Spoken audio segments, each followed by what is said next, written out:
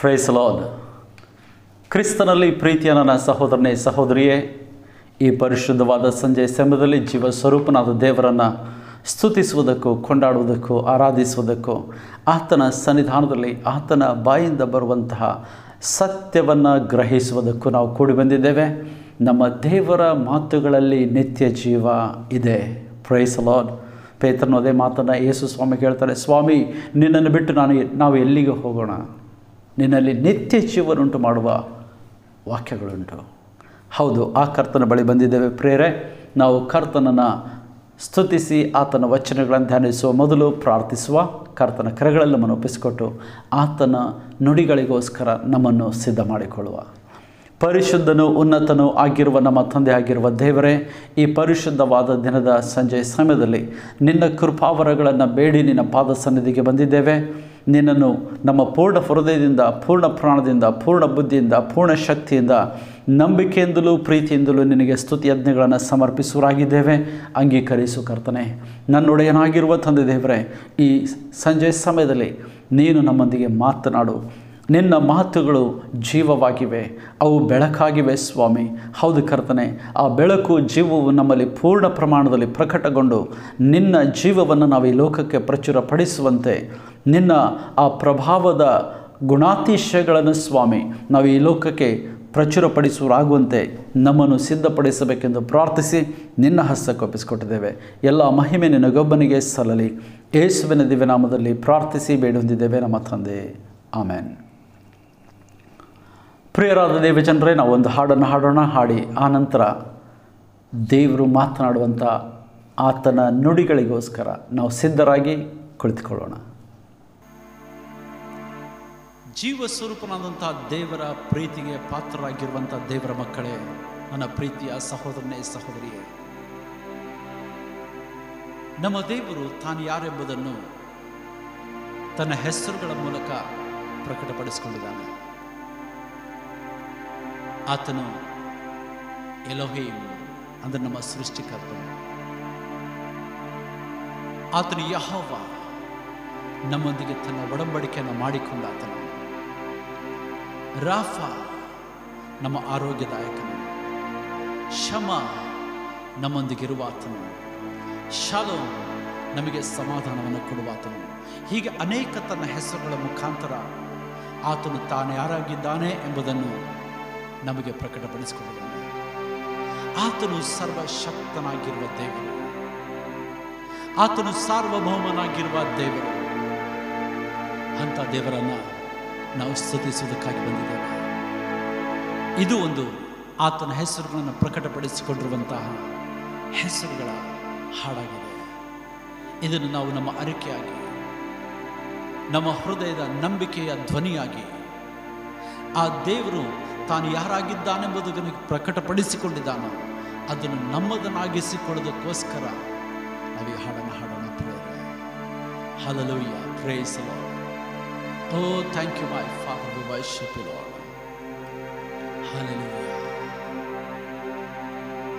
V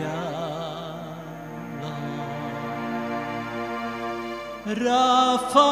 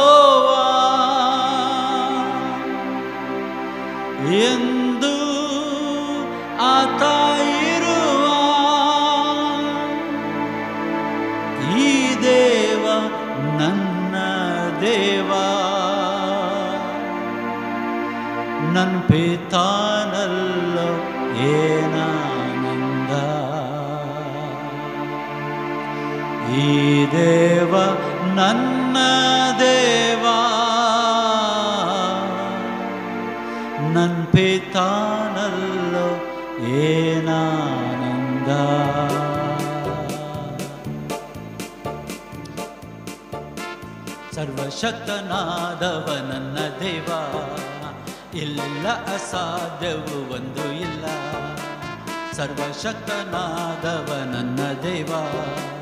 ಇಲ್ಲಿಲ್ಲ ಅಸಾಧ್ಯವು, ಒಂದು ಇಲ್ಲ. ಅಖಿಲಾಂಡವ ನಿರ್ಮಿಸಿದ. ನನ್ನ ಪಿತಾನಲ್ಲೋ ಏನಾನಂದ ಅಖಿಲಾಂಡವ ನಿರ್ಮಿಸಿದ. ನನ್ನ ಪಿತಾನಲ್ಲೋ ಏನಾನಂದ ಶಾಲೆ ಯೆಹೋವಾ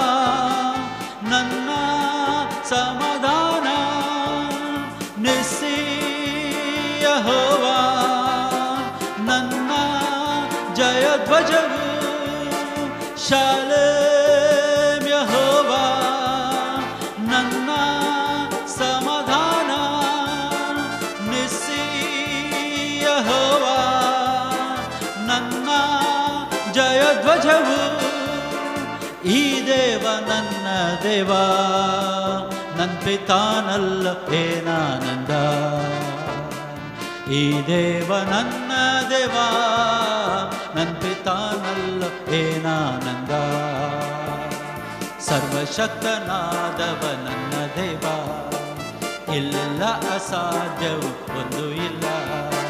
ಸರ್ವಶಕ್ತನಾದವ ನನ್ನ ದೇವ ಇಲ್ಲ ಅಸಾಧ್ಯವು ಒಂದು ಇಲ್ಲ ಅಖಿಲಾಂಡವ ನಿರ್ಮಿಸಿದ ನನ್ನ ಪಿತಾನಲ್ಲೋ ಏನಾನಂದ ಅಖಿಲಾಂಡವ ನಿರ್ಮಿಸಿದ ನನ್ನ ಪಿತಾನಲ್ಲೋ ಏನಾನಂದ ರೋಹಿ ಯೆಹೋವಾ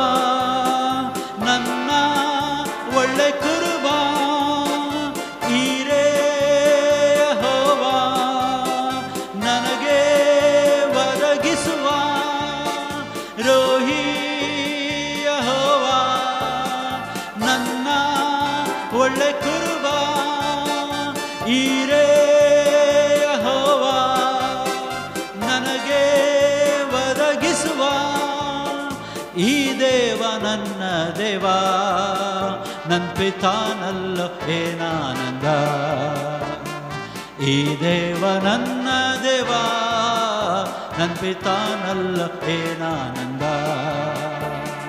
ಸರ್ವಶಕ್ತನಾದವ ನನ್ನ ದೇವ, ಇಲ್ಲಿಲ್ಲ ಅಸಾಧ್ಯವು, ಒಂದು ಇಲ್ಲ.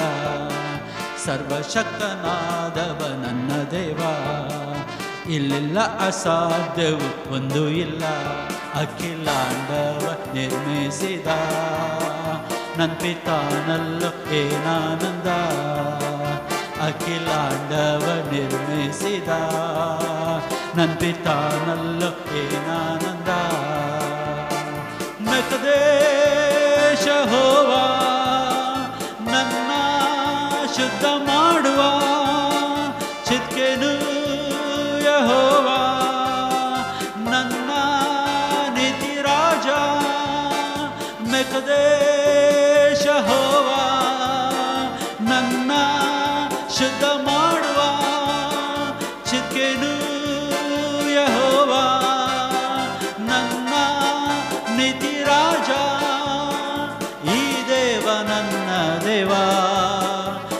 ನನ್ನ ಪಿತಾನಲ್ಲ ಏನಾನಂದ ಈ ದೇವ ನನ್ನ ದೇವ ನನ್ನ ಪಿತಾನಲ್ಲ ಏನಾನಂದ ಸರ್ವಶಕ್ತನಾದವ ನನ್ನ ದೇವ, ಇಲ್ಲೆಲ್ಲ ಅಸಾಧ್ಯವು ಒಂದು ಇಲ್ಲ. ಸರ್ವಶಕ್ತನಾದವ ನನ್ನ ದೇವ. ಇಲ್ಲೆಲ್ಲ ಅಸಾಧ್ಯವು, ಒಂದು ಇಲ್ಲ. ಅಖಿಲಾಂಡವ ನಿರ್ಮಿಸಿದ. ನನ್ನ ಪಿತಾನಲ್ಲೋ ಏನಾನಂದ. ಅಖಿಲಾಂಡವ ನಿರ್ಮಿಸಿದ. ನನ್ನ ಪಿತಾನಲ್ಲೋ ಏನಾನಂದ. ಅಖಿಲಾಂಡವ ನಿರ್ಮಿಸಿದ. ನನ್ನ ಪಿತಾನಲ್ಲೋ ಏನಾನಂದ. ಅಖಿಲಾಂಡವ ನಿರ್ಮಿಸಿದ ನನ್ನ ತಾನಲ್ಲ ಏನಾನಂದ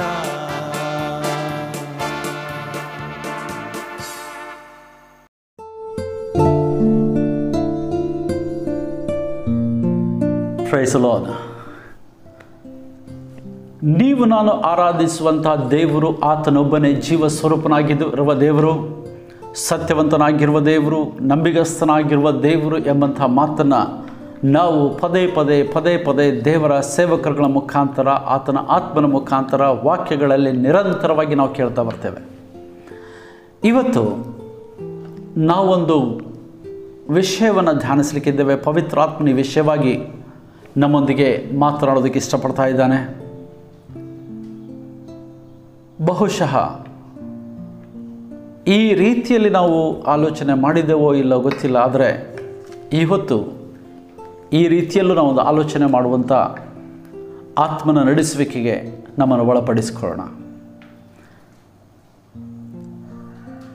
ಈ ಇವತ್ತಿನ ಸಂದೇಶದ ಟೈಟಲ್ ನಿಮಗೆ ಹೇಳೋಕ್ಕಿಂತ ಮುಂಚೆ ಕೆಲವು ಸ್ಟೇಟ್ಮೆಂಟ್ಸ್ ನಿಮ್ಮ ಹತ್ರ ನಾನು ಹಂಚ್ಕೊಳ್ಳಿಕ್ಕೆ ಬಯಸ್ತೇನೆ. ಆನಂತರ ನಿಮಗೆ ಟೈಟಲ್ ಹೇಳ್ತೇನೆ ನಾನು.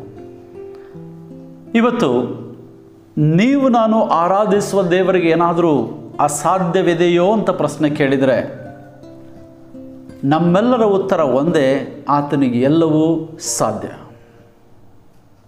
ಯಾಕೆಂದರೆ ಆತನೇ ಹೇಳಿದ್ದಾನೆ ಎರಮೇನ ಪ್ರಭಾದನೆ ಹೇಳ್ತಾನೆ, ನರಪ್ರಾಣಿಗಳಿಗೆಲ್ಲ ನಾನೇ ದೇವರು, ನನಗೆ ಅಸಾಧ್ಯವಾದದ್ದು ಯಾವುದಾದ್ರೂ ಉಂಟೋ, ನನಗೆ ಕಠಿಣವಾದದ್ದು ಯಾವುದಾದ್ರೂ ಉಂಟೋ, ಅದೇ ಮಾತನ್ನು ಅಬ್ರಹಾಮನಿಗೂ ದೇವರು ಹೇಳ್ತಾರೆ ಅಂದರೆ ಸಾರಳು ನಕ್ಕಾಗ ಯಹೋವನಿಗೆ, ದೇವರಿಗೆ ಕಷ್ಟವಾದದ್ದು, ಕಠಿಣವಾದದ್ದು ಯಾವುದಾದರೂ ಉಂಟೋ ಎಂಬುದಾಗಿ.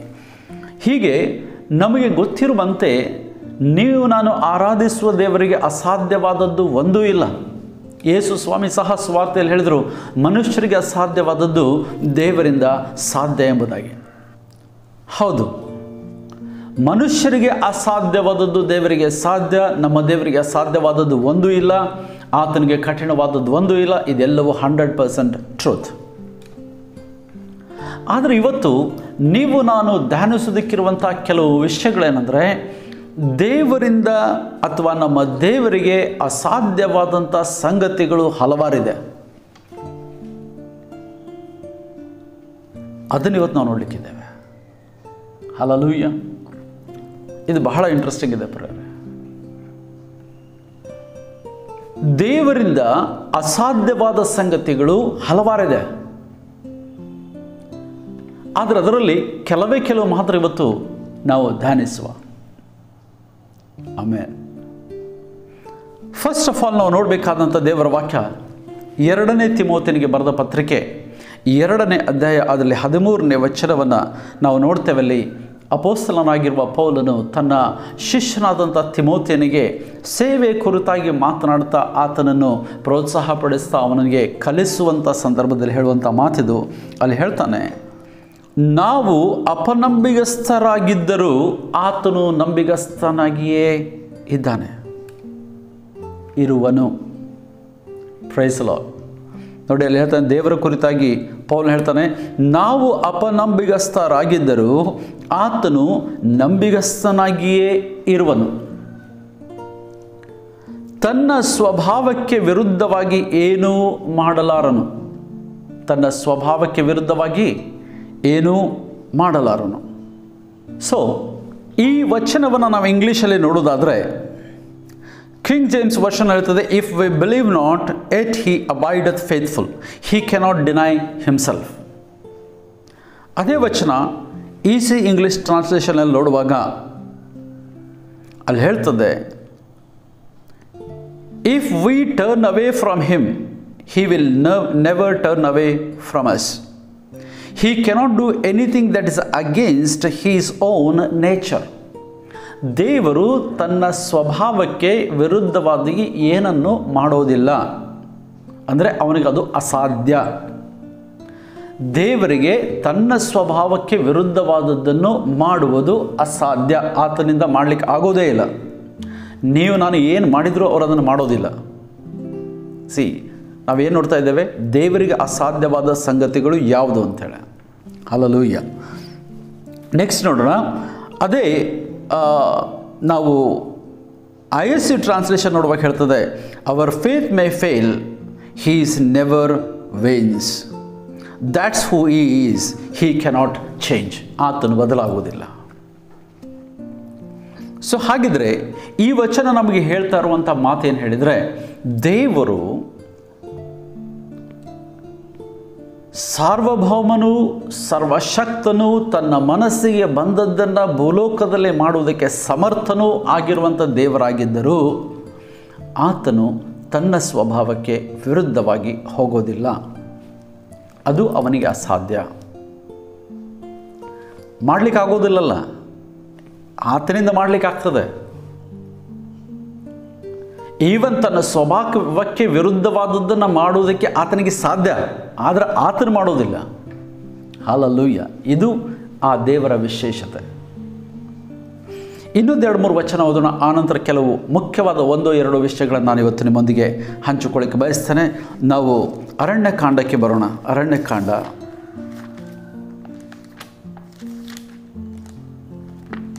ಅದರಲ್ಲಿ ಇಪ್ಪತ್ತ ಮೂರನೇ ಅಧ್ಯಾಯದಲ್ಲಿ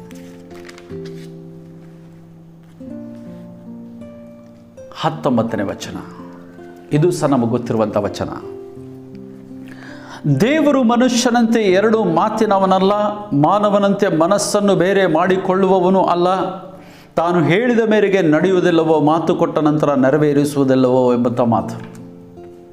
ಅಂದರೆ ದೇವರು ಒಮ್ಮೆ ನುಡಿದದ್ದನ್ನು ಆ ನಂತರ ಅಯ್ಯೋ ಸಾರಿ, ತಪ್ಪಾಯಿತು ಅಂತ ಹೇಳೋದಿಲ್ಲ. ಆತನು ಹೇಳಿದ್ದನ್ನು ಆತನು ನೆರವೇರಿಸುವ ದೇವರಾಗಿದ್ದಾನೆ. ಅಲ್ಲ ಅದನ್ನು ಆತನು ಚೇಂಜ್ ಮಾಡುವಂತಹ ದೇವರಲ್ಲ. ಹಲಲೂಯ್ಯ ಪ್ರೈಸಲೋ ಇನ್ನು ಹಾಗೆ ನೋಡೋದಾದರೆ, ತೀತನ ಪತ್ರಿಕೆಯಲ್ಲಿ ಒಂದನೇ ಅಧ್ಯಾಯದ ಎರಡನೇ ವಚನ. ಒಂದನೇ ಅಧ್ಯಾಯದ ಎರಡನೇ ವಚನ. ಕನ್ನಡದಲ್ಲಿ ಒಂದರಿಂದ ನಾಲ್ಕು ಒಂದೇ ಪ್ಯಾಸೇಜ್ ಇದೆ ಅದು. ಅದನ್ನು ನಾನು ಆ ಪೋರ್ಷನ್ ಮಾತ್ರ ನಿಮಗೋಸ್ಕರ ಓದ್ತೇನಲ್ಲಿ ಒಂದನೇ ವಚನ ಆರಂಭ ಆದ ನಂತರ ಅಲ್ಲಿ ಒಂದು ಸೆಂಟೆನ್ಸ್ನಿಂದ ನಾನು ಆರಂಭಿಸ್ತೇನೆ. ದೇವರಾದುಕೊಂಡವರ ನಂಬಿಕೆಯು ಭಕ್ತಿ ವೃದ್ಧಿಂಟು ಮಾಡುವ ಸತ್ಯದ ಪರಿಜ್ಞಾನವು ವೃದ್ಧಿಯಾಗುವುದಕ್ಕೋಸ್ಕರವೇ ಅಪೋಸ್ತಲನಾಗಿದ್ದೇನೆ. ಇದು ಪೌಲನ್ ತನ್ನ ಅಪೋಸ್ತಲತನದ ಕುರಿತಾಗಿ ಹೇಳುವಂಥ ಮಾತು. ಆ ನಂಬಿಕೆಗೂ, ಸತ್ಯದ ಪರಿಜ್ಞಾನಕ್ಕೂ, ನಿತ್ಯ ಜೀವದ ನಿರೀಕ್ಷೆಯೇ ಆಧಾರವಾಗಿದೆ. ಸುಳ್ಳಾಡದ ದೇವರು ಆ ನಿತ್ಯ ಜೀವನ ಕೊಡುತ್ತೇನೆಂದು ಅನಾದಿ ಕಾಲದಲ್ಲಿ ವಾಗ್ದಾನ ಮಾಡಿ ತನ್ನ ಕ್ಲುಪ್ತ ಸಮಯದಲ್ಲಿ ವಾಗ್ದಾನವನ್ನು ನೆರವೇರಿಸಿ ಪ್ರಸಂಗದ ಮೂಲಕ ಪ್ರಕಟಿಸಿದನು. ಆ ಪ್ರಸಂಗೋದ್ಯೋಗವು ನಮ್ಮ ರಕ್ಷಕನಾದ ದೇವರ ಅಪ್ಪಣೆ ಪ್ರಕಾರ ನನಗೆ ಒಪ್ಪಿಸಲ್ಪಟ್ಟಿದೆ. ನೋಡಿ, ಈ ರಕ್ಷಣೆ ವಿಷಯ, ನಿತ್ಯ ಜೀವದ ವಿಷಯನ ಸುಳ್ಳಾಡದ ದೇವರು ಕೊಡುತ್ತೆಂದು ಅನಾದಿ ಕಾಲದಲ್ಲಿ ಪ್ರಾಮಿಸ್ ಮಾಡಿದ್ರಂತೆ, ಅದನ್ನು ಅವರು ನೆರವೇರಿಸಿದರು. ಯಾವಾಗ? ಏಸು ಕ್ರಿಸ್ತನನ್ನು ನಿಮಗೋಸ್ಕರ, ನನಗೋಸ್ಕರ ಪ್ರಾಯಶ್ಚಿತ ಯಜ್ಞವಾಗಿ ಶಿಲುಬೆಯ ಮೇಲೆ ಒಪ್ಪಿಸಿಕೊಟ್ಟ ದಿವಸ ಆ ವಾಗ್ದಾನ ನೆರವೇರಿತು. ಅಂದರೆ ಅವರು ಸುಳ್ಳಾಡಲಿಲ್ಲ. ಅದನ್ನು ಅವ್ರ ಮನಸ್ಸು ಬದಲು ಮಾಡಿಕೊಳ್ಳಿಲ್ಲ. ಇನ್ನೂ ಒಂದು ವಚನ ನೋಡೋಣ. ಇಬ್ರಿಯವರು ಬರೆದ ಪತ್ರಿಕೆಯಲ್ಲಿ ಆರನೇ ಅಧ್ಯಾಯದಲ್ಲಿ ಹದಿನೇಳು, ಹದಿನೆಂಟನೇ ವಚನ ಮತ್ತು ಹತ್ತೊಂಬತ್ತನೇ ವಚನ. ಇಲ್ಲಿ ಹೇಳ್ತದೆ, ಹಾಗೆಯೇ ದೇವರು ತನ್ನ ಸಂಕಲ್ಪವು ನಿಶ್ಚಲವಾದದ್ದೆಂಬುದನ್ನು ವಾಗ್ದಾನದ ಫಲಕ್ಕೆ ಬಾಧ್ಯರಾಗುವವರೆಗೆ ಬಹು ಸ್ಪಷ್ಟವಾಗಿ ತೋರಿಸಬೇಕೆಂದು ಆಣೆಯಿಟ್ಟು ತನ್ನ ಮಾತನ್ನು ಸ್ಥಿರಪಡಿಸಿದನು. ತಾನು ಹೇಳಿದ್ದನ್ನು ಮಾಡ್ತೇನೆ ಅನ್ನುವಂಥದ್ದನ್ನು ರಕ್ಷಣೆಗೆ ಬಾಧ್ಯರಾಗುವಂಥವರು, ತನ್ನ ವಾಗ್ದಾನದ ಫಲಕ್ಕೆ ಬಾಧ್ಯವಾಗುವಂಥವರಿಗೆ ಸ್ಪಷ್ಟವಾಗಿ ತೋರಿಸ್ಬೇಕೆಂಥೇಳಿ ಆತನು ತನ್ನ ಮಾತನ್ನು ತನ್ನ ಮೇಲೆ ಆಣೆ ಇಟ್ಟುಕೊಂಡು ಸ್ಥಿರಪಡಿಸಿದ ಅಂದರೆ ಆತನು ಚೇಂಜ್ ಆಗೋದಿಲ್ಲ ದೇವರಿಗೆ ಆಣೆ ಇಡಲಿಕ್ಕೆ ಆತನಿಗಿಂತ ದೊಡ್ಡವರು ಯಾರಿಲ್ಲ? ಹಲಲೂಯ್ಯ ಅದಕ್ಕಾಗಿ ದೇವರೇನು ಮಾಡಿದರು? ತನ್ನ ಮೇಲೆ ಆಣೆ ಇಟ್ಟುಕೊಂಡ್ರು ಆಣೆ ಇಟ್ಟುಕೊಂಡು ತನ್ನ ಮಾತನ್ನು ಅವರು ಸ್ಥಿರಪಡಿಸಿದ್ದಾರೆ. ಅದನ್ನಲ್ಲಿ ಚೇಂಜ್ ಮಾಡೋದಿಲ್ಲ. ನಾನು ಹೇಳ್ತಾ ಇರೋ ವಿಷಯ ಅಂದರೆ, ಅವರು ಒಮ್ಮೆ ಹೇಳಿದ್ದೇನೆ, ಅವರು ಅವರ ಸ್ವಭಾವ ಏನಿದೆ, ಅಲ್ಲಿಂದ ಅವರು ಚೇಂಜ್ ಆಗೋದಿಲ್ಲ. ಇದನ್ನು ನಾವು ತಿಳ್ಕೊಳ್ಬೇಕು. ಅದು ಇಂಪಾಸಿಬಲ್ ಆತನಿಗೆ ಸೊ ಮುಂದೆ ಹೋಗ್ತಾ ಹೇಳ್ತಾರಲ್ಲಿ ಹದಿನೆಂಟನೇ ವಚನದಲ್ಲಿ ಆಶ್ರಯವನ್ನು ಹೊಂದಬೇಕೆಂದು ಓಡಿ ಬಂದು ನಮ್ಮ ಮುಂದೆ ಇಟ್ಟಿರುವ ನಿರೀಕ್ಷೆಯನ್ನು ಹಿಡಿಕೊಂಡವರಾದ ನಮಗೆ ಎರಡು ನಿಶ್ಚಲವಾದ ಆಧಾರಗಳು ಇರುವ ಕಾರಣ ಬಲವಾದ ಧೈರ್ಯ ಉಂಟಾಯಿತು. ಅದರಿಂದಾಗಿ ನಮಗೆ ಒಂದು ಧೈರ್ಯ ಇದೆ. ಈ ವಾಗ್ದಾನಗಳನ್ನು ನಂಬೋದರಲ್ಲಿ ಬೈಬಲಿನ ವಾಕ್ಯಗಳನ್ನು ನಂಬೋದರಲ್ಲಿ ನಮಗೊಂದು ಧೈರ್ಯ ಯಾಕೆ ಹೇಳಿದರೆ, ದೇವರು ಸುಳ್ಳುಗಾರನಲ್ಲ. ಆತನು ತನ್ನ ಸ್ವಭಾವಕ್ಕೆ ವಿರುದ್ಧ ಹೋಗೋದಿಲ್ಲ ಆತನು ನುಡಿದದ್ದನ್ನು ನೆರವೇರಿಸ್ತಾನೆ. ಇದರಲ್ಲಿರೋದೆಲ್ಲವೂ ಸತ್ಯ. ಇದನ್ನು ನಾವು ಗಮನಿಸಬೇಕು. ಮುಂದೆ ಹತ್ತೊಂಬತ್ತನೇ ವಚನ ಹೇಳ್ತಾನೆ, ಈ ಆಧಾರಗಳನ್ನು ಕೊಟ್ಟದರಲ್ಲಿ, ಈ ಪ್ರೂಫ್ಸ್ ಕೊಟ್ಟದರಲ್ಲಿ ದೇವರು ಸುಳ್ಳಾಡಿರಲಾರನು ಆ ನಿರೀಕ್ಷೆ ನಮ್ಮ ಪ್ರಮ, ಪ್ರಾಣಕ್ಕೆ ಲಂಗರದ ಹಾಗಿದ್ದು ಭರವಸೆಕ್ಕೆ ಯೋಗ್ಯವಾದದ್ದು, ಸ್ಥಿರವಾದದ್ದು ಆಗಿದೆ. ಹಾಲಲ್ಲೂಯ್ಯ ಅವನು ಸುಳ್ಳಾಡಿರಲಾರನು ಎಂಬುದಾಗಿ ದೃಢವಾಗಿ ಹೇಳ್ತಾನೆ. ಪ್ರೈಸಲಾಗ್ ಸೊ ಈಗ ನೋಡಿ, ಕೆಲವು ಬಹಳ ಇಂಟ್ರೆಸ್ಟಿಂಗ್ ಆದಂಥ ಒಂದು ಎರಡು ಪಾಯಿಂಟ್ಸ್ ನಿಮಗೆ ಹೇಳ್ತೇನೆ ನಾನು. ಎರಡೇ ಪಾಯಿಂಟ್ ಇವತ್ತು ನಾವು ಸ್ಟಡಿ ಮಾಡುವ. ಅದು ಎರಡು ಬಹಳ ಮುಖ್ಯ ಇದೆ ನಮಗೆ.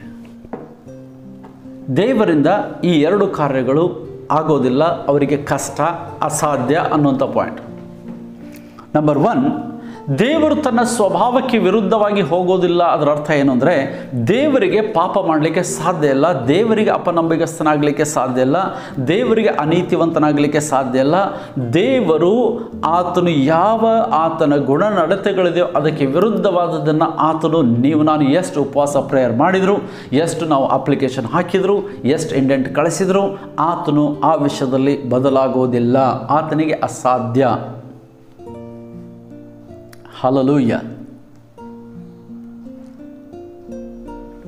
ದೇವರು ನೀವು, ನಾನು ನಂಬಿರುವಂಥ ಈ ತ್ರೈಕನಾಗಿರುವ ದೇವರು, ಆತನಲ್ಲಿ ಈ ಪಾಪದ ಅನೀತಿಗೆ ಸಂಬಂಧಪಟ್ಟ, ಅಶುದ್ಧತ್ವಕ್ಕೆ ಸಂಬಂಧಪಟ್ಟ ಯಾವುದೇ ಕಾರ್ಯಗಳನ್ನು ಆತನಿಂದ ಮಾಡುವುದಕ್ಕೆ ಅಸಾಧ್ಯವಾಗಿದ್ದಿದೆ. ಇದನ್ನು ಗಮನಿಸಬೇಕು ನಾವು. ಆತನಂದ್ರೆ ಮಾಡೋದೇ ಇಲ್ಲ. ಅಷ್ಟೊಂದು ಪರಿಶುದ್ಧನು, ನೀತಿವಂತನು, ತನ್ನ ಸ್ವಭಾವವನ್ನು ಭದ್ರವಾಗಿ ಆತನು ಕಾಪಾಡಿಕೊಳ್ಳುವನು ಆಗಿರುವ ದೇವರಾಗಿದ್ದಾನೆ. ಆತನಿಗೆ ಸ್ವಾತಂತ್ರ್ಯ ಇದೆ. ತನ್ನ ಮನಸ್ಸಿಗೆ ಬಂದದ್ದನ್ನು ಮಾಡೋದಕ್ಕೆ ಸ್ವಾತಂತ್ರ್ಯ ಇದೆ. ಆದಾಗ್ಯೂ ಆತನು ತನ್ನ ಸ್ವಭಾವಕ್ಕೆ ವಿರುದ್ಧವಾದದ್ದನ್ನು ಮಾಡೋದಿಲ್ಲ. ಪಾಪವನ್ನು ಆತನು ಮಾಡೋದಿಲ್ಲ. ಅನೀತಿಯು ಆತನಿಂದ ಸಾಧ್ಯ ಇಲ್ಲ. ಅಪನಂಬಿಗಸ್ತಿಕೆ ಆತನಿಂದ ಸಾಧ್ಯ ಇಲ್ಲ. ಆತನು ಏನನ್ನು ನುಡಿದಿದ್ದಾನೋ ಆತನು ಅದನ್ನು ನೆರವೇರಿಸಿಯೇ ನೆರವೇರಿಸ್ತಾನೆ. ಇದೊಂದು ಮೊದಲನೆಯ ಪಾಯಿಂಟ್ ಎಷ್ಟೋ ವಿಷಯಗಳಲ್ಲಿ ನಾವು ದೇವರ ಹತ್ರ ಪ್ರಾರ್ಥನೆ ಮಾಡ್ತೇವೆ, ದೇವರಲ್ಲಿ ನಂಬಿಕೆ ಇಡ್ತೇವೆ, ದೇವರಲ್ಲಿ ನಾವು ಬೇಡಿಕೊಳ್ತೇವೆ, ಆ ವಿಷಯಗಳು ಸಾ, ಕೆಲವೊಮ್ಮೆ ಏನಾಗಿರ್ತದೆ ಹೇಳಿದ್ರೆ ನಮ್ಮ ಅರಿವಿಗೆ ಬರೋದಿಲ್ಲ. ಆದರೆ ಅವು ದೇವರ ಚಿತ್ತಕ್ಕೆ ವಿರುದ್ಧವಾಗಿ, ಆತನ ಸ್ವಭಾವಕ್ಕೆ ವಿರುದ್ಧವಾದಂಥ ಹಲವಾರು ಸಂಗತಿಗಳನ್ನು ನಾವು ಕೇಳ್ತೇವೆ. ಅವುಗಳಿಗೆ ಆತನ ಉತ್ತರ ಕೊಡೋದಿಲ್ಲ ಎಂಬುದು ದೇವರ ವಾಕ್ಯ ಹೇಳ್ತದೆ. ಯಾಕೋಬನ ಪತ್ರಿಕೆಯಲ್ಲಿ ಸ್ಪಷ್ಟವಾಗಿ ಯಾಕೋಬನ ಹೇಳ್ತಾನೆ ನೀವು ಬೇಡ್ತಾ ಇದ್ದೀರಿ. ಆದರೆ ನೀವು ನಿಮ್ಮ ಸ್ವಂತ ದುರಾಶೆಗಳಿಗೋಸ್ಕರ ಕೇಳ್ತಾ ಇರೋದ್ರಿಂದ ನಿಮಗೆ ಅದು ಉತ್ತರ ಸಿಕ್ಕೋದಿಲ್ಲ ಎಂಬುದಾಗಿ. ಅಂದ್ರೇನು? ನಮಗೆ ಅದೇನೋ ಬೇಕು ಅದು ಸರಿ ಅನಿಸಿರ್ತದೆ, ಆದರೆ ದೇವರ ಸ್ವಭಾವಕ್ಕೆ ಅದು ವಿರುದ್ಧವಾಗಿದೆ ಅನ್ನೋದು ನಾವು ಗಮನಿಸದೇ ಇದ್ದಾಗ ಅದು ನಮಗೆ ಸಿಕ್ಕೋದಿಲ್ಲ. ಇದೊಂದು ಫಸ್ಟ್ ತಿಳ್ಕೊಳ್ಬೇಕಾದದ್ದು ಇದು ಪಾಪ ಅನ್ನುವಂಥದ್ದು ನೆಗೆಟಿವ್ ವಿಷಯ. ಪಾಪ ಅನೀತಿ ಅಥವಾ ಅಪನಂಬಿಗಸ್ಕ ಅನ್ನೋಂಥದ್ದು ನೆಗೆಟಿವ್ ವಿಷಯಗಳು ಆಯ್ತಪ್ಪ, ನಮಗೆ ಈಸಿಲಿ ಅಂಡರ್ಸ್ಟ್ಯಾಂಡ್ ಆಗ್ತದೆ. ಹೌದು ದೇವರಿಗಿದು ಅಸಾಧ್ಯ ಅನ್ನೋದಾಗಿ ಆದರೆ ಇನ್ನೊಂದು ಪಾಸಿಟಿವ್ ಆ್ಯಂಗಲಲ್ಲಿರುವಂಥ ಒಂದು ಆಲೋಚನೆ ನೋಡೋಣ. ಅದು ದೇವರಿಗೆ ಅಸಾಧ್ಯವಾಗಿರುವಂಥ ಒಂದು ಪಾಸಿಟಿವ್ ಆ್ಯಂಗಲ್ ವಿಷಯ ಇದೆ. ಅದೇನು ಹೇಳಿದರೆ, ನಿಮ್ಮ ನನ್ನ ಆಲೋಚನೆಗಳನ್ನು ಬದಲಾಯಿಸುವುದು ಆತನಿಗೆ ಅಸಾಧ್ಯ. ನಿಮ್ಮ ನನ್ನ ಆಲೋಚನೆಗಳನ್ನು ಚೇಂಜ್ ಮಾಡಲಿಕ್ಕೆ ಆತನಿಗೆ ಕಷ್ಟ ಆಗ್ತದೆ.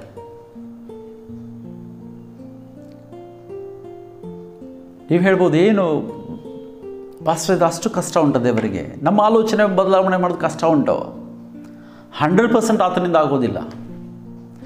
ಒಂದು ವೇಳೆ ದೇವರಿಗೆ ಮನುಷ್ಯನ ಆಲೋಚನೆಗಳನ್ನು ತನ್ನ ಸ್ವಂತ ಕೈಯಿಂದಲೇ ತನ್ನ ಸರ್ವಾಧಿಕಾರದಿಂದ ಬದಲಾವಣೆ ಮಾಡುವುದು ಆಗ, ಬದಲಾವಣೆ ಮಾಡಲಿಕ್ಕೆ ಆಗ್ತದೆ.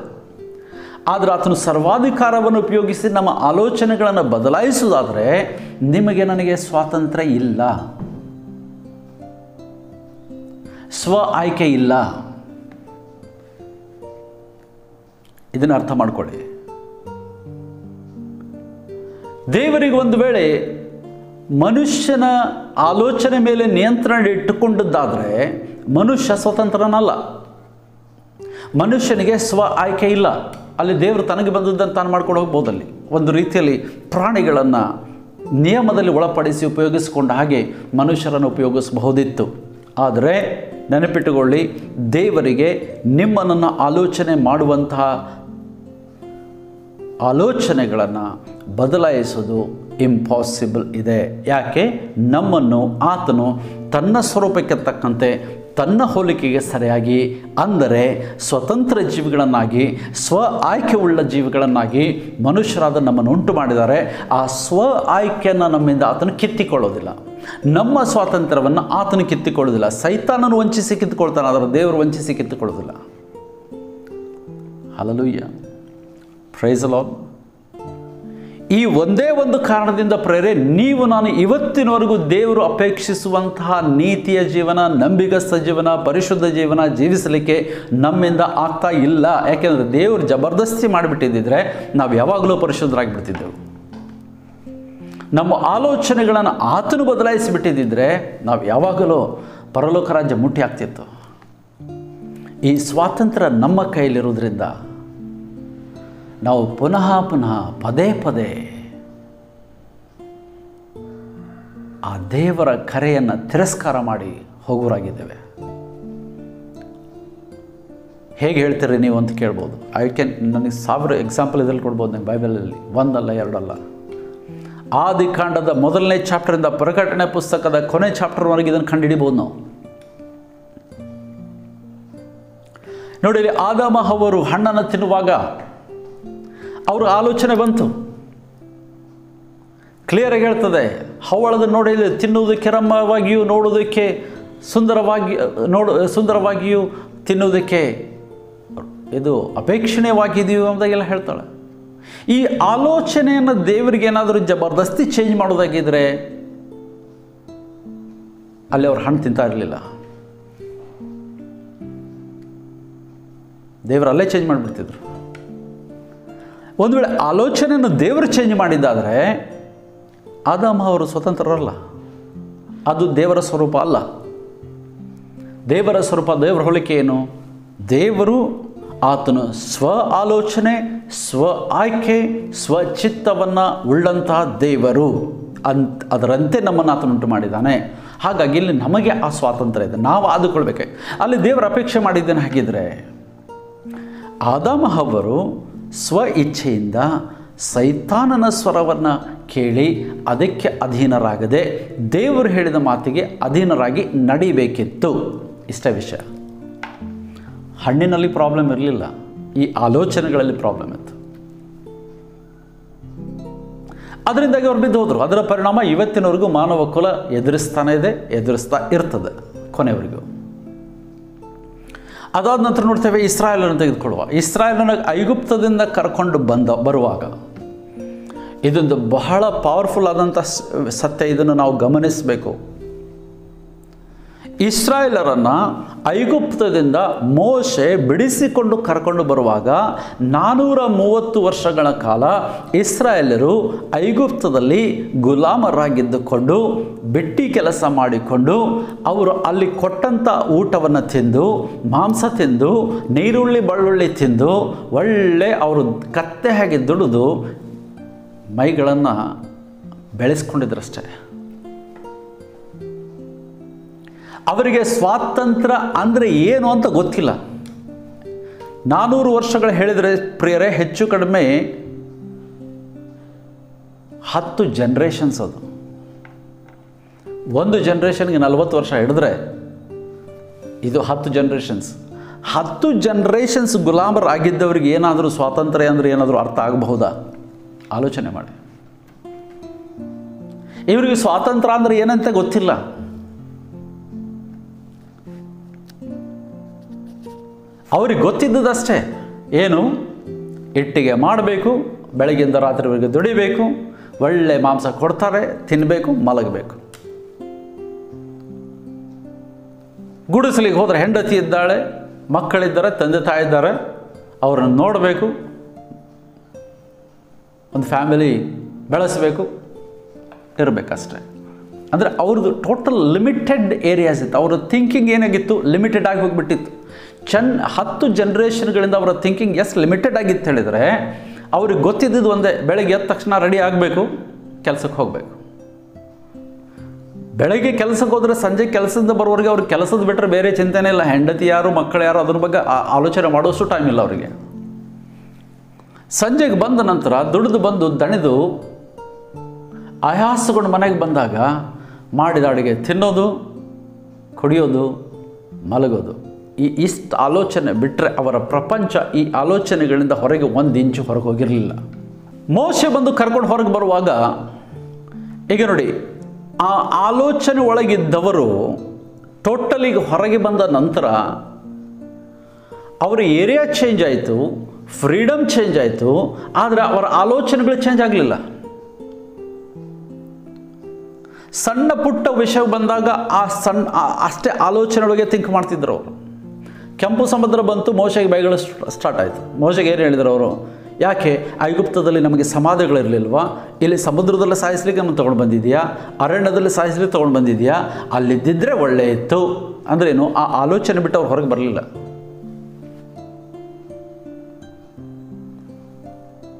ದೇವರು ಪರಲೋಕದಿಂದ ಮನ್ನ ಕಳಿಸ್ಕೊಟ್ರು. ಇವ್ರು ಹೇಳಿದ್ರು, ನಿಸ್ಸಾರವಾದದ್ದು, ಇದಕ್ಕೆ ಟೇಸ್ಟ್ ಇಲ್ಲ. ಅಲ್ಲಿ ಆದರೂ ಬಡ್ಲುಳ್ಳಿ, ನೀರುಳ್ಳಿ ಒಳ್ಳೆ ಪರಿಮಳ ಬರ್ತಿತ್ತು, ಇಲ್ಲಿ ಬರಲಿಲ್ಲ. ಸಿ ಅವ್ರು ಯಾವ್ದು ಆಲೋಚನೆ ಮಾಡ್ತಾಯಿದ್ರು ಆ ಲಿಮಿಟೆಡ್ ಫ್ರೇಮಲ್ಲಿದ್ದ ಆಲೋಚನೆ ಬಿಟ್ಟು ಅವ್ರು ಹೊರಗೆ ಬರಲಿಲ್ಲ. ಈ ಲಿಮಿಟೆಡ್ ಫ್ರೇಮ್ನ ಆಲೋಚನೆಗಳನ್ನು ಬದಲಾಯಿಸುವುದು ದೇವರಿಗೆ ಆಗಲಿಲ್ಲ. ಈ ಆಲೋಚನೆಗಳು ಚೇಂಜ್ ಆಗ್ಬೇಕು ಹೇಳಿ ದೇವರವ್ರನ್ನ ಏನು ಮಾಡಿದರು? ಶಾರ್ಟ್ಕಟ್ ಮೆಥಡನ್ನು ಬಿಡಿಸಿ ಲಾಂಗ್ ರೂಟಲ್ಲಿ ತಗೊಂಡು ಬಂದರು. ಆ ಜರ್ನಿಯಲ್ಲಾದರೂ ಇವರು ಆಲೋಚನೆ ಚೇಂಜ್ ಆಗಲಿ ಹೇಳಿ. ಅಲ್ಲಿಯೂ ಅವ್ರು ಚೇಂಜ್ ಆಗಲಿಲ್ಲ. ಕೊನೆಗೆ ಹೇಳಿದ್ರು, ಇಲ್ಲೇ ಸಾಯರು, ಹೇಳಿದ್ರು ಅವ್ರಿಗೆ. ಅಲ್ಲಿ ಸ್ಪಷ್ಟವಾಗಿ ದೇವ್ರು ಹೇಳ್ತಾರೆ, ಮೋಶೆಗೆ ಹೇಳ್ತಾರೆ ರಿಪೀಟೆಡಾಗಿ ಹೇಳ್ತಾರೆ, ಇವರು ಸ್ವಭಾವ ಬದಲು ಮಾಡಿಕೊಳ್ಳಿಲ್ಲ. ಇವರೇನು ಇಲ್ಲಿಯೇ ನಾಶ ಮಾಡಿಬಿಡ್ತೇನೆ, ನಿನ್ನ ಮೂಲಕ ನಾನು ಒಂದು ಹೊಸ ಜನಾಂಗವನ್ನೇ ಉಂಟು ಮಾಡ್ತೇನೆ ಅಂತ ಹೇಳ್ತಾ ದೇವ್ರು ಹೇಳ್ತಾರೆ. ಆದರೆ ಮೋಶೆ ಪ್ರೇರ್ ಮಾಡ್ತಾನೆ, ಯಾಕೆ ಅವ್ರನ್ನ ಕರ್ಕೊಂಡು ಬಂದೆ? ಆಗಿದ್ರೆ, ಈಗ ನೋಡಿದವ್ರು ಏನು ಹೇಳ್ತಾರೆ, ನಿನ್ನ ಕೈಲಿ ಆಗಲಿಲ್ಲ ಅಂತ ಹೇಳ್ತಾರಲ್ಲ. ಅಷ್ಟಕ್ಕೋಸ್ಕರ ದೇವರು ಏನು ಮಾಡಿದರು? ಆ ಎಂಟೈರ್ ಜನ್ರೇಷನ್ ಯಾವುದು? ಐಗುಪ್ತದಿಂದ ಹೊರಗೆ ಬಂದಂಥ ಎಂಟೈರ್ ಜನ್ರೇಷನನ್ನು ಅರಣ್ಯದಲ್ಲೇ ಸಾಯಿಸಿ, ಅರಣ್ಯದಲ್ಲಿ ಹುಟ್ಟಿದ ಹೊಸ ಜನ್ರೇಷನನ್ನು ಕಾನಾನ್ ದೇಶಕ್ಕೆ ಕರ್ಕೊಂಡೋದ್ರು ಯಾಕೆಂದರೆ ಅರಣ್ಯದಲ್ಲಿ ಹುಟ್ಟಿದವರಿಗೆ ಗುಲಾಮತನ ಅಂದರೆ ಏನಂತ ಗೊತ್ತಿಲ್ಲ. ನೋಡಿ, ಈ ಆಲೋಚನೆ ಗಳಿಸ್ತಿದೆ ಇವತ್ತು ನಿಮ್ಮ ನನ್ನ ಪರಿಸ್ಥಿತಿ ಇದೆ ಇದೆ. ಹಳೆಯ ಆಲೋಚನೆಗಳು ಇನ್ನೂವರೆಗೂ ಬಿಡಲಿಕ್ಕೆ ನಮ್ಗೆ ಆಗ್ತಾ ಇಲ್ಲ.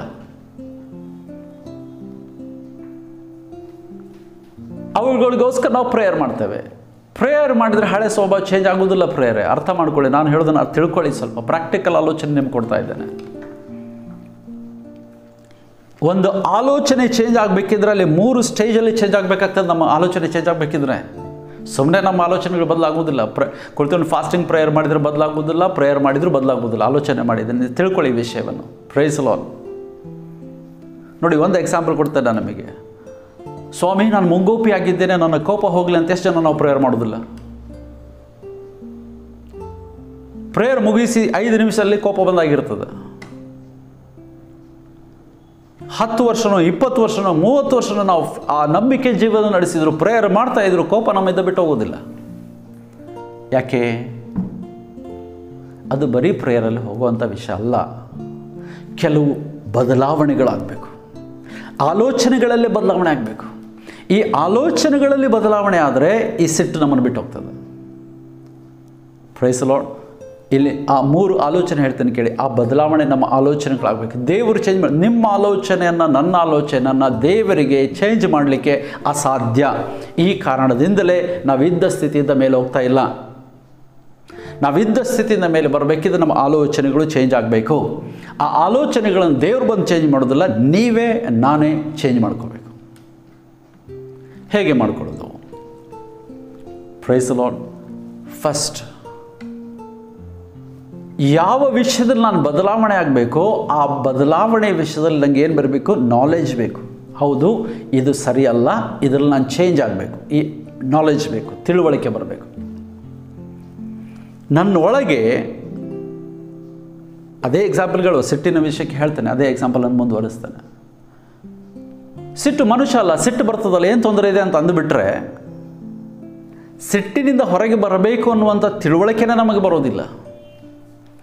ಸಿಟ್ಟಿನಿಂದ ಹೊರ ಬರಬೇಕು ಅನ್ನುವಂಥ ತಿಳುವಳಿಕೆ ಬರೆದಿದ್ರೆ ಸಿಟ್ಟು ನನ್ನಿಂದ ಹೇಗೆ ಬಿಟ್ಟೋಗೋದು?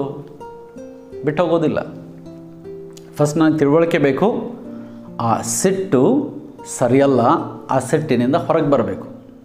ದೇವರ ವಾಕ್ಯ ಹೇಳ್ತದೆ, ಮನುಷ್ಯನ ಕೋಪವು ದೇವರ ನೀತಿಗೆ ಮೆಚ್ಚುಗೆ ಆದದ್ದಲ್ಲ. ಅಂದ್ರೇನು, ನೀನು ನಾನು ಕೋಪ ಮಾಡಿಕೊಳ್ಳುವಂಥದ್ದು ದೇವರಿಗೆ ಅದು ಇಷ್ಟ ಆಗೋದಿಲ್ಲ. ಹಾಗಿದ್ರೆ ನನ್ನ ಮನಸ್ಸಲ್ಲಿ ಮೊದಲು ತಿಳುವಳಿಕೆ ಇರಬೇಕು ನಾನು ಸಿಟ್ಟು ಮಾಡಿಕೊಳ್ಳೋದು ನನ್ನ ದೇವರಿಗೆ ಇಷ್ಟ ಆಗೋದಿಲ್ಲ ಅದರಿಂದ ನಾನು ಹೊರಗೆ ಬರಬೇಕು. ಎರಡನೇದಾಗಿ, ಸಿಟ್ಟಿನಿಂದ ನಾನು ಹೊರಗೆ ಬರಬೇಕು ಅನ್ನುವಂಥ ತಿಳುವಳಿಕೆ ಬಂದ ಮೇಲೆ ಆ ಸಿಟ್ಟಿನ ವಿಷಯದಲ್ಲಿ ನನ್ನ ವರ್ತನೆ ಚೇಂಜ್ ಆಗಬೇಕು. ಆ್ಯಟಿಟ್ಯೂಡ್ ಚೇಂಜ್ ಆಗಬೇಕು. ಅಂದ್ರೇನು? ಸಿಟ್ಟು ಅಪ್ಪಿತಪ್ಪಿ ಬಂದರೆ ಫಸ್ಟ್ ಆ ಸಿಟ್ಟನ್ನು ನನ್ನ ಕೆಪೆ ಮೇಲೆ ನಾನೇ ಯೂಸ್ ಮಾಡ್ಕೊಳ್ಬೇಕು. ಹೊಡ್ಕೊಳ್ಬೇಕು ಒಂದು ಎರಡು ಸಾರಿ. ತಪ್ಪು ಮಾಡಿದೆ ಸಿಟ್ಟು ಮಾಡಬಾರ್ದಿತ್ತು ಅಂತೇಳಿ. ಸಿಟ್ಟು ಬಂದ ತಕ್ಷಣ, ನನಗೆ ಸಿಟ್ಟು ಬಂದ ತಕ್ಷಣ ಅದಕ್ಕೆ ಇಮ್ಮಿಡಿಯೇಟ್ ಏನು ಮಾಡಬೇಕು? ನಾನೇ ಒಂದೆರಡು ಹೊಡ್ಕೊಳ್ಬೇಕು. ಅಂದರೆ ಆ ಸಿಟ್ಟಿನ ವಿಷಯ ನನ್ನ ವರ್ತನೆ ನನ್ನಲ್ಲಿ ಚೇಂಜ್ ಆಗಬೇಕು ಫಸ್ಟ್ ಎರಡು ಸಾರಿ ಹೊಡ್ಕೊಳ್ಳಿ ನೀವು. ಮೂರನೇ ಸಾರಿ ಸಿಟ್ಟು ಬರುವಾಗ ಮೂರನೇ ಸ್ಟೇಜ್ ಚೇಂಜ್ ಆಗ್ತಾನೆ. ಅದೇನು ಹೇಳಿದ್ರು ನನ್ನ ನಡವಳಿಕೆ ಚೇಂಜ್ ಆಗ್ತದೆ. ಆ ಸಿಟ್ಟು ಬರುವಾಗಲೇ ನೋ ನೋ ನೋ ನೋ ನಾನು ಇದು ಮಾಡಬಾರ್ದು. ಈ ಮೂರು ಚೇಂಜ್ ಆದರೆ ಸಿಟ್ಟಿನಿಂದ ಹಂಡ್ರೆಡ್ ಪರ್ಸೆಂಟ್ ನೀವು ಹೊರಗೆ ಬರ್ತೀರಿ.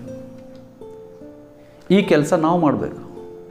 ನಾವು ಪ್ರ ದೇವರೇ, ನನ್ನಿಂದ ಸಿಟ್ಟನ್ನು ತೆಗೆದುಕೊಂಡು ಹೋಗು. ಅವ್ರ ಹತ್ರ ಸಿಟ್ಟನ್ನು ತೊಗೊಂಡು ಹೋಗಿ ಇಡುವಂಥ ಯಾವ ಸ್ಟೋರ್ ಹೌಸ್ ಇಲ್ಲ ಪ್ರಿಯರೇ. ಸಿಟ್ಟಿನ ಸ್ಟೋರ್ ಹೌಸ್ ಎಲ್ಲ ಇರೋದು ಸೈತಾನ್ ಹತ್ರ.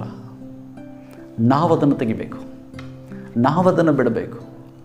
ನಿಮ್ಮ ಆಲೋಚನೆ ಇದನ್ನು ಗಮನ ಕೊಡಿ. ನಿಮ್ಮ ಆಲೋಚನೆಯನ್ನು, ನನ್ನ ಆಲೋಚನೆಯನ್ನು ದೇವರಿಗೆ ಬದಲಾಯಿಸುವುದು ಅಸಾಧ್ಯ. ಯಾಕೆ? ಅಲ್ಲಿ ಅವ್ರ ಕೈ ಹಾಕಿದರೆ ನಿಮ್ಮ ನನ್ನ ಸ್ವಾತಂತ್ರ್ಯಕ್ಕೆ ಅವ್ರ ಕೈ ಹಾಕಿದಾಗ ಆಗ್ತದೆ. ಅವ್ರ ಕೈ ಹಾಕೋದಿಲ್ಲ. ಅದು ಅವ್ರ ದೇವ್, ಅವರ ಸ್ವಭಾವಕ್ಕೆ ವಿರುದ್ಧವಾದದ್ದು ಅದು. ಅದಕ್ಕೆ ಅವ್ರು ಏನು ಮಾಡ್ತಾರೆ ಹೇಳಿದರೆ, ಪ್ರತಿ ಸಾರಿ ನೀನು ನಾನು ತಪ್ಪು ಮಾಡುವಾಗ, ಕೋಪದ ಎಕ್ಸಾಂಪಲ್ ಆದರೆ ಕೋಪ ಮಾಡುವಾಗ ಪವಿತ್ರ ಆತ್ಮನ ನಮ್ಮ ಒಳಗಿಂದ ಮಾತಾಡ್ತಾನೆ, ಸಿಟ್ಟು ಮಾಡ್ಕೊಳ್ತಾ ಇದ್ದಿ, ಸರಿಯಲ್ಲ, ಸಿಟ್ಟು ಮಾಡಬೇಡ. ಅಷ್ಟೇ, ಅವ್ರು ಹೇಳೋದಷ್ಟೇ. ದೇವರ ಕಡೆಯಿಂದ ನಾವು ಮಾಡುತ್ತಿರೋ ತಪ್ಪುಗಳ ವಿಷಯದಲ್ಲಿ ಆತನ ಸ್ವಭಾವಕ್ಕೆ ವಿರುದ್ಧವಾದ ವಿಷಯಗಳಲ್ಲಿ ಏನಿದ್ರೂ ಅದನ್ನು ಅವರು ನಮಗೆ ಹೇಳ್ತಾರೆ, ಅರಿವನ್ನುಂಟು ಮಾಡ್ತಾರೆ. ಆ ಅರಿವನ್ನುಂಟು ಮಾಡೋ ಕೆಲಸವನ್ನು ಮಾತ್ರ ದೇವರಿಗೆ ಮಾಡಲಿಕ್ಕಾಗ್ಬೋದು ಅದರ ಮುಂದಿನ ಕೆಲಸ ನೀವು ನಾನು ಮಾಡಬೇಕು. ಅರಿವಾದ ತಕ್ಷಣ ಅದನ್ನು ಬಿಡಬೇಕಾದದ್ದು ನನ್ನ ಕೆಲಸ. ಹಲಲೂಯ್ಯ ಫ್ರೈಸಲಾನ್ ಪ್ರೇರೆ, ಹೀಗೆ ಅನೇಕ ವಿಷಯಗಳಿದೆ. ನಾವು ಚೇ, ನಾವು ಚೇಂಜ್ ಆಗಬೇಕಾದದಲ್ಲಿ ಅಲ್ಲಿ ದೇವರು ನಮ್ಮ ಸ್ವಾತಂತ್ರ್ಯವನ್ನು ಬಳಸೋದಿಲ್ಲ. ಅದಕ್ಕೆ ದೇವರ ವಾಕ್ಯ ಹೇಳ್ತದೆ ಧರ್ಮೋಪದೇಶ ಕಾಂಡ ಮೂವತ್ತನೇದೆ ಹತ್ತೊಂಬತ್ತನೇ ವಚನದಲ್ಲಿ ದೇವರು ಹೇಳ್ತಾರೆ, ನಿನ್ನೆದುರಿಗೆ ನಾನು ಏನಿಟ್ಟಿದ್ದೇನೆ ಪರ ಆಕಾಶವನ್ನು ಭೂಮಿಯನ್ನು ಸಾಕ್ಷಿಯಾಗಿಟ್ಟಿದ್ದೇನೆ. ಯಾವುದಕ್ಕೋಸ್ಕರ? ನಿನ್ನೆದುರು ನಾಲ್ಕು ವಿಷಯ ಇಟ್ಟಿದ್ದೆ ನಾನು. ನಿನ್ನೆದುರಿಗೆ ಜೀವವನ್ನು, ಮರಣವನ್ನು, ಆಶೀರ್ವಾದವನ್ನು, ಶಾಪವನ್ನು ನಿನ್ನೆದುರಿಗಿಟ್ಟಿದ್ದೇನೆ ಅದರಲ್ಲಿ ಜೀವವನ್ನು ಆದುಕೋ ಅಂತ ಹೇಳ್ತಾರೆ. ಯಾಕೆ ಅವ್ರು ಕೊಡ್ಲಿಕ್ಕಾಗೋದಿಲ್ವಾ? ಆಯ್ದುಕೊಳ್ಳೋದು ದಿನ ನನ್ನ ಆಲೋಚನೆ ನಾವು ನಿರ್ಧಾರ ಮಾಡಬೇಕಾಗ್ತದೆ. ನಾವು ಮಾಡಬೇಕಾದ ನಿರ್ಧಾರ ದೇವ್ರು ಮಾಡೋದಿಲ್ಲ. ಅದು ಅವರಿಗೆ ಸ್ವಭಾವಕ್ಕೆ ವಿರುದ್ಧ ಆಗ್ತದೆ ಅದು ಅವರಿಂದ ಅಸಾಧ್ಯ ಜಬರ್ದಸ್ತಿ ಅವರ ಆಯ್ಕೆ ನಮ್ಮ ಮೇಲೆ ಹಾಕಿದರೆ ಹಾಗೆ ನಮಗೇನು ಫ್ರೀಡಮ್ ಇದೆ? ನಾವು ಹೇಗೆ ದೇವರ ಸ್ವಭಾವ ಉಳ್ಳವರಾಗ್ತೇವೆ? ನೋ ಪ್ರೇರೆ, ಇದೇ ಕಾರಣಕ್ಕೆ ಎರಡನೇ ಕುರಿತ ಹತ್ತನೇ ಅಧ್ಯಾಯ ಮೂರರಿಂದ ಆರನೇ ವಚನದ ನೋಡೋ ಹೇಳ್ತದೆ, ಈ ನಿಮ್ಮ ನನ್ನ ಆಲೋಚನೆಗಳು ಕೋಟೆಗಳಿಗಿಂತಲೂ ಕೊತ್ತಲಗಳಿಗಿಂತಲೂ ಭದ್ರವಾದವುಗಳು. ಅವುಗಳನ್ನು ನೀವು ನಾನು ಸ್ವತಃ ಕ್ರಿಸ್ತನ ಅಧೀನಕ್ಕೆ ತಂದು ಒಪ್ಪಿಸಿದಾಗ ಮಾತ್ರ ನಾವು ಆ ಕೋಟೆಗಳನ್ನು ಕೆಳಗಾಗ್ತೇವೆ. ಯಾವ ಕೋಟೆಗಳು? ಆಲೋಚನೆಗಳೆಂಬ ಕೋಟೆಗಳು. ಆಲೋಚನೆಗಳೆಂಬ ಕೊತ್ತಲಗಳು. ಅವು ಕೆಳಗೆ ಬಿದ್ದಾಗಲೇ ನಮ್ಮ ಜೀವನ ಪರಿವರ್ತನೆ ಆಗ್ತದೆ. ಅಲ್ಲಿ ದೇವರಿಗೆ ಅಸಾಧ್ಯವಾದ ಕಾರ್ಯಗಳನ್ನು ಸಾಧ್ಯವಾಗಿ ಮಾಡಲಿಕ್ಕೆ ಸಾಧ್ಯ ಇದೆ. ಅದರರ್ಥ ಒಂದೇ ತಿಳ್ಕೊಳ್ಳಿ. ಇವತ್ತು ನಾನು ಎರಡು ವಿಷಯ ನಿಮ್ಗೆ ಹೇಳಿದ್ದೇನೆ. ಒಂದು, ದೇವರಿಂದ ಪಾಪ ಮಾಡಲಿಕ್ಕಾಗೋದಿಲ್ಲ ಎರಡನೇದು ನಿಮ್ಮ ನನ್ನ ಆಲೋಚನೆ ಚೇಂಜ್ ಮಾಡಲಿಕ್ಕಾಗೋದಿಲ್ಲ. ಇಂಥ ಅನೇಕ ಸಂಗತಿಗಳಿದೆ. ನೀವು ಈ ವಾಕ್ಯದ ಆಧಾರವನ್ನು ಕ್ಲೂ ಆಗಿ ಇಟ್ಕೊಂಡು ನೀವು ಸ್ಟಡಿ ಮಾಡಲಿಕ್ಕೆ ಶುರು ಮಾಡಿದರೆ ದೇವರಿಂದ ಅಸಾಧ್ಯವಾದ ಅನೇಕ ಸಂಗತಿಗಳ ಲಿಸ್ಟ್ ನೀವೇ ಮಾಡಲಿಕ್ಕೆ ಸಾಧ್ಯ ಇದೆ. ಆಮೇನ್. ಕರ್ತ ನಿಮ್ಮನ್ನು ಆಶೀರ್ವದಿಸಲಿ. ನಮ್ಮನ್ನು ನಾವು ಬದಲಾವಣೆ ಮಾಡಿಕೊಳ್ಳೋಣ. ಆ ದೇವರಿಗೆ ಅಸಾಧ್ಯವಾದಗಳನ್ನು ಮಾಡುವ ದೇವರಿಗೆ ನಾವೇ ಅಸಾಧ್ಯವಾದ ಸ್ಥಿತಿಯಲ್ಲಿ ತಂದು ನಿಲ್ಲಿಸೋದು ಬೇಡ. ಆತನಿಂದ ಅಸಾಧ್ಯವಾದಗಳನ್ನು ಹೊಂದಿಕೊಳ್ಳೋಣ. ಪ್ರಾರ್ಥಿಸುವ.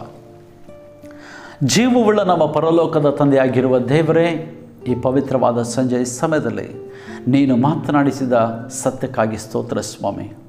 ತಂದೆಯಾದ ದೇವರೇ ಹೌದು ಸ್ವಾಮಿ. ಅಸಾಧ್ಯವಾದವುಗಳನ್ನು ಸಾಧ್ಯ ಮಾಡುವ ದೇವರಾದ ನಿನ್ನನ್ನು ಕರ್ತನೆ. ನಾವು ಅಸಾಧ್ಯವಾದ ಸ್ಥಿತಿಗೆ ತಂದು ನಿಲ್ಲಿಸದಂತೆ ಕರ್ತನೆ ನಿನ್ನ ಆ ಸ್ವರೂಪಕ್ಕೆ ತಕ್ಕಂತೆ ಹೋಲಿಕೆಗೆ ಸರಿಯಾಗಿ ನಾವು ಸಿದ್ಧರಾಗುವುದಕ್ಕೆ ನಮಗೆ ಸಹಾಯ ಮಾಡು. ನಿನ್ನ ಸ್ವಭಾವಕ್ಕೆ ವಿರುದ್ಧವಾದ ಯಾವುದನ್ನು ಕರ್ತನೆ ನಮ್ಮ ಜೀವನದಲ್ಲಿ ಮಾಡದಂತೆ ನಮ್ಮ ಮಾರ್ಗಗಳನ್ನು ನೀನು ಬೋಧಿಸು ಕರ್ತನೆ. ನಿನ್ನ ಸ್ವಭಾವಕ್ಕೆ ವಿರುದ್ಧವಾಗಿ ಹೋಗಿ, ನಿನ್ನ ಕೈಗಳನ್ನು ಕಟ್ಟಿ ಹಾಕಿ ನಿನ್ನ ಮಹಿಮೆಯನ್ನು ಕಾಣದಂಥ ಸ್ಥಿತಿಗೆ ಬರದಂತೆ ಸ್ವಾಮಿ, ನಮ್ಮನ್ನು ನಡೆಸು. ನಿನ್ನ ಪರಿಶುದ್ಧವಾದ ನಾಮಕ್ಕೆ ನಮ್ಮ ಜೀವಿತಗಳಲ್ಲಿ ಮಹಿಮೆ ಉಂಟಾಗಲಿ. ಯೇಸುವಿನ ದಿವ್ಯನಾಮದಲ್ಲಿ ಬೆಳೆದಿದ್ದೇವೆ ನಮ್ಮ ತಂದೆಯೇ. ಆಮೇನ್. ಪ್ರೈಸ್ ಲಾರ್ಡ್ ಕ್ರಿಸ್ತನಲ್ಲಿ ಪ್ರೀತಿಯ ನನ್ನ ಸಹೋದರನೇ ಸಹೋದರಿಯೇ, ನಾನು ನಂಬ್ತೇನೆ ಕರ್ತನು ಇವತ್ತು ನಿಮ್ಮೊಂದಿಗೆ ಮಾತನಾಡಿದ್ದಾರೆ. ಈ ಸತ್ಯ ನಿಮಗೆ ಆಶೀರ್ವಾದವನ್ನುಂಟು ಮಾಡಿದ್ದಾದರೆ, ಇತರರಿಗೆ ಇದರ ಅಗತ್ಯ ಇದೆ ಅಂತ ನಿಮಗೆ ಯಾರಾದರೂ ನೆನಪಾದರೆ, ಅವರಿಗೆ ಯೂಟ್ಯೂಬ್ ಅಥವಾ ಫೇಸ್ಬುಕ್ಕಿನ ಲಿಂಕ್ ಕಳಿಸ್ಕೊಡಿ. ಅವರು ಈ ಆಶೀರ್ವಾದಗಳಿಗೆ ಬಾಧ್ಯರಾಗಲಿ ಕರ್ತ ನಿಮ್ಮನ್ನು ಆಶೀರ್ವದಿಸಲಿ. ಮುಂದಿನ ವಾರ ಇದೇ ಸಮಯ ಇನ್ನೊಂದು ಆಲೋಚನೆಯೊಂದಿಗೆ ನಿಮ್ಮ ಬಳಿ ಬರ್ತೇನೆ. ಅಲ್ಲಿವರೆಗೂ ಕರ್ತನ ಕೃಪೆ ನಿಮ್ಮೊಂದಿಗಿರಲಿ.